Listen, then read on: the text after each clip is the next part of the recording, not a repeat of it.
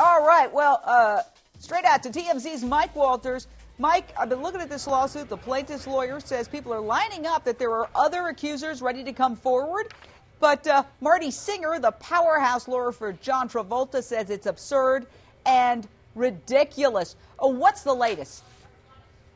Well, Jane, the latest is John Travolta is stacking up the evidence that this is not a true story. The first thing he did was we got a hold of those photographs. Now, the photographs are in a New York City hotel room.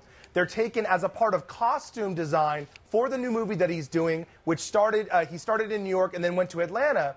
The photos are taken at 4:30 p.m. and 5:21 p.m. on the day, January 16th, that allegedly he was here in Beverly Hills with this masseur. The problem is there's no possible way if that happened at 10 a.m. he would be able to fly to New York and be able to take these photographs in that hotel.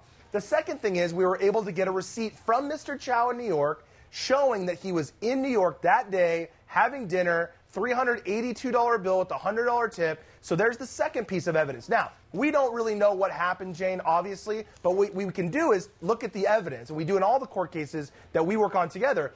So, so far, John Travolta's got evidence. So far, I have not seen anything from the other side showing any proof that John Travolta did any of this, and we're just going to have to wait and see what happens.